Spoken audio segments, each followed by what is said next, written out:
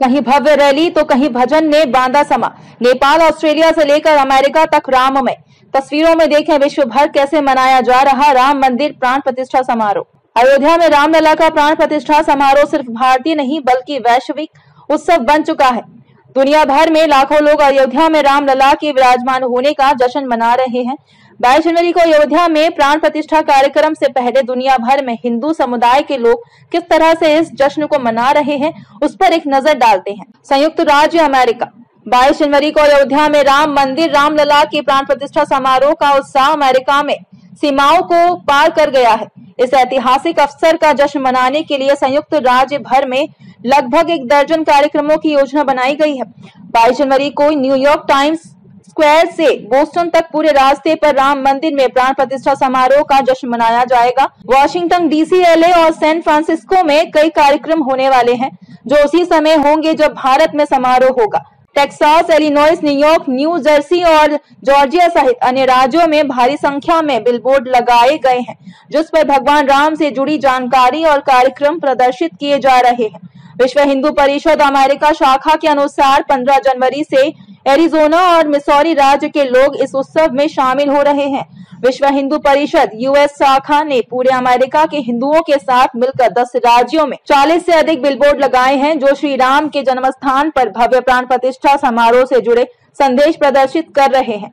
अयोध्या में राम मंदिर के उद्घाटन के उपलक्ष्य में पूरे अमेरिका में हिंदू अमेरिका समुदाय ने कई कार रैलियाँ आयोजित की हैं और अयोध्या में प्राण प्रतिष्ठा के लिए कई और कार्यक्रमों की योजना बनाई है। मॉरिशस मॉरिशस में भारतीय प्रवासी उत्सव में एकजुट हो रहे हैं। सभी मंदिरों में दिए जला रहे हैं और रामचरित्र मानस का पाठ कर रहे हैं। मॉरिशस के लोग अयोध्या में होने वाले इस बहुप्रतीक्षित आध्यात्मिक कार्यक्रम में शामिल होने के लिए उत्साहित हैं। मॉरिशस के सभी मंदिरों में दीप जलाने की तैयारी चल रही है। एक रिपोर्ट के अनुसार देश के मंदिरों के गलियारों में रामचरित्र मानस की चौपाइयाँ गूंजेंगी, जिससे भक्ति और सांस्कृतिक उत्सव का माहौल बनेगा। रामलला प्राण प्रतिष्ठा के वैश्विक महत्व को देखते हुए मॉरिशस सरकार ने 22 जनवरी को हिंदू समुदाय के सरकारी अधिकारियों के लिए दो घंटे के विशेष अवकाश की घोषणा की है। यह छुट्टी इसलिए दी गई है जिससे अयोध्या में श्री राम लला की प्राण प्रतिष्ठा के अवसर पर होने वाले स्थानीय कार्यक्रमों में वे भाग ले सकें। यूनाइटेड किंगडम यूनाइटेड किंगडम में भी खासा उत्सव देखा जा रहा है। हिंदू मंदिरों में रामलला प्राण प्रतिष्ठा समारोह के लिए खासी तैयारी चल रही है। इंग्लैंड के मध्य में अयोध्या से हज़ारों मील दूर स्थित स्लो हिंदू मंदिर उत्साह से भरा हुआ है। यह मंदिर अयोध्या में राम मंदिर के प्राण प्रतिष्ठा समारोह का जश्न मनाने के लिए तैयार है। ब्रिटेन में अयोध्या के मंगल कलश का भ्रमण कराया जा रहा है। प्राण प्रतिष्ठा कार्यक्रम से एक दिन पहले 21 जनवरी को यह कलश स्लो हिंदू मंदिर पहुंचेगा और 22 जनवरी को इस मंदिर में रखा जाएगा।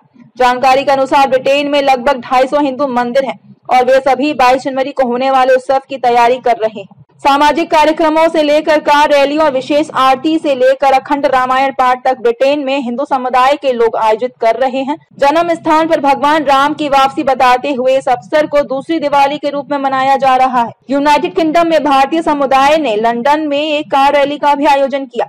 बड़ी संख्या में हिंदू प्रवासी कार रैली में शामिल हुए। एक रिपोर्ट के अनुसार इस रैली में 325 से अधिक कारों ने भाग लिया। रैली के दौरान प्रतिभागियों ने जय श्री राम के नारे लगाए और भगवान राम की स्तुति में गाने गाए। बाद में शाम को भारत ब्रिटेन समुदाय ने इस अवसर को यादगार बनाने के लिए एक महाआरती का भी आयोजन किया। जानकारी के अनुसार 22 जनवरी को विशेष पूजा और भजन का भी आयोजन किया जाएगा।